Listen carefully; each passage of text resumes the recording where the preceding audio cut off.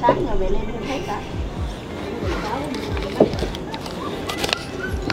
con mà quên đi hồi nãy quên. gọi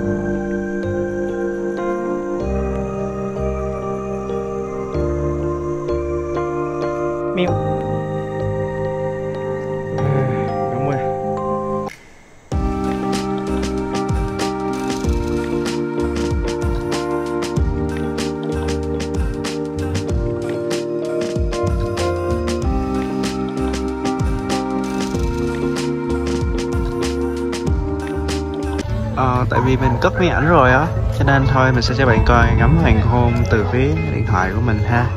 Cáp treo ở trên đầu thì đã ngừng hoạt động. Mặt trăng trên kia. Hoàng hôn ở Đà Lạt đang xuống dần rồi ha. Nó sẽ ở phía bên kia kìa. Nên chạy vượt qua một xíu cũng được. Đã ha. Giờ đầu quán đóng cửa.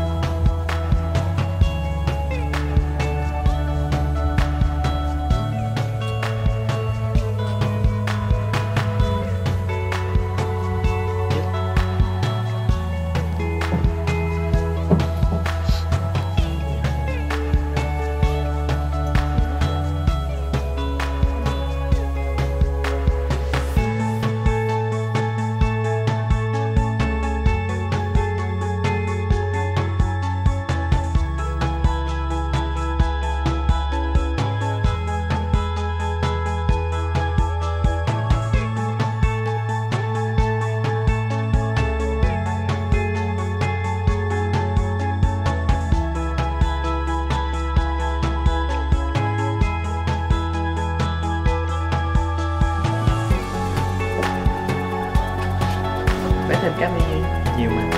Với lại có thêm cái bụng nữa.